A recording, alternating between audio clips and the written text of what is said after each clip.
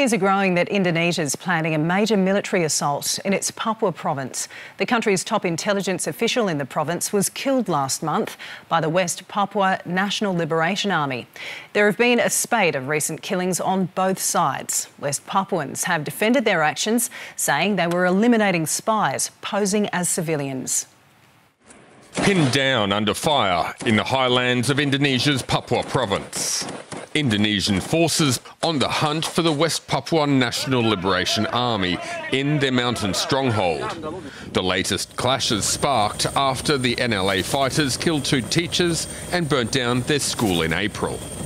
Those declared words so that uh, because they were uh, identified as uh, spy by the Indonesian military and police. A claim denied by the government. Indonesian outrage peaked when West Papuan fighters claimed their biggest kill in the 50 year long fight for independence.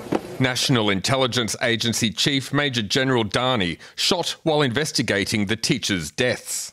The emboldened West Papua military wing told SBS they will continue to kill Indonesian civilians suspected of being soldiers or spies.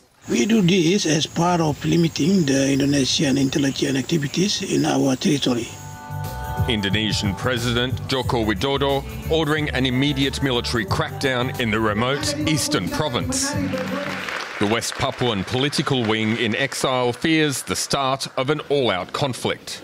This is really uh, concern me, and I alert the world. This is uh, this is real war are, are going to happen in West Papua. After decades of military lockdown with no international observers or media allowed access, recent reports of dozens of casualties, both civilian and combatant, are impossible to independently verify. Jokowi, let sit down and talk, find a solution, peacefully uh, solution. Jokowi, sit down with me. That seems unlikely. With claims of helicopter gunships being deployed, this unverified video posted on a military social media account. Indonesia is now prescribing the ragtag West Papuan fighters as an international terrorist organisation. Moving towards a counterterrorism framework will trigger more violence, more escalating situation in Papua with, with more killings taking place. And all the perpetrators can escape in a full impunity. Estimated killed in this long running conflict, hundreds of thousands of Papuans and many hundreds of Indonesian soldiers. Human rights violation committed by the military or by the non state actors, such as Free Papuan Movement, must be brought into court. The West Papuan political leadership rejecting the terrorist label. This is the humanitarian crisis committed by Indonesia. They are terrorists. Indonesia is terrorist. Australia has previously voiced concerns over human rights violations, but continues training the Indonesian military.